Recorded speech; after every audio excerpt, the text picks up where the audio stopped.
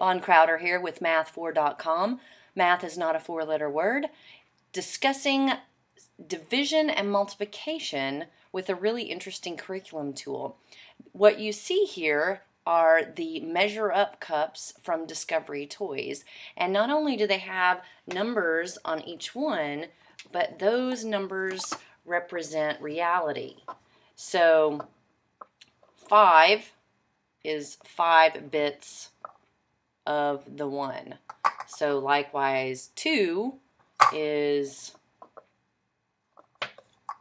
goes into 4 twice or 2 will pour into 4 twice. And that's exactly what I'm going to demonstrate. I've got a interesting bucket of sand over here that might just get a little bit more um, challenging than I hope, but I'm going to use that to look at multiplication and division. So I'm going to use the 9, the 6, and the 3. Mostly because they're three different colors, and so that's really kind of fun on video. So looking at 9, 6, and 3, the object right now is to see the relationship between them. So I'm going to fill up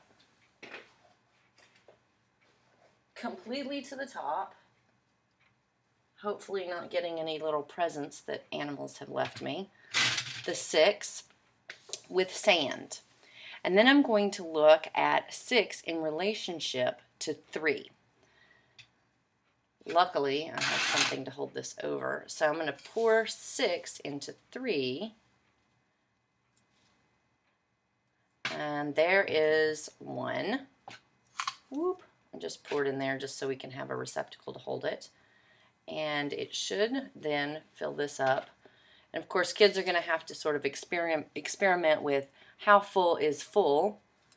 So I have two versions in there. Well, now notice now 9 has a bunch of sand in it. So I'm going to get some more sand in six here. And I'm going to use some of it to pour in three and get my level of fullness.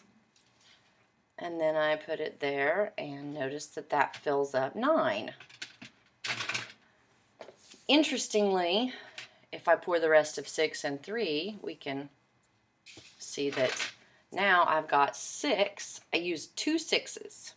I used two versions of 6, and I filled up 9 one whole time and 3 one whole time. So we have a division here with 6 going into 9, or 9 going into 6 once, remainder 3. Or 6 going into 9 once, remainder 3. I'll use some movie magic and put that on the bottom of the screen correctly. So the beauty of this is, is even if you don't know or the kid doesn't know exactly who goes into what, how many times, and the remainder, it's the experimentation, it's the real world, touching it, holding it, knowing, okay, I see what's going on. Because not all of our brains work the same. As a matter of fact, I would venture that none of our brains work the same. And so this allows a kid to get in there and get their hands dirty, literally, and figure out which pieces go into and out of which other pieces.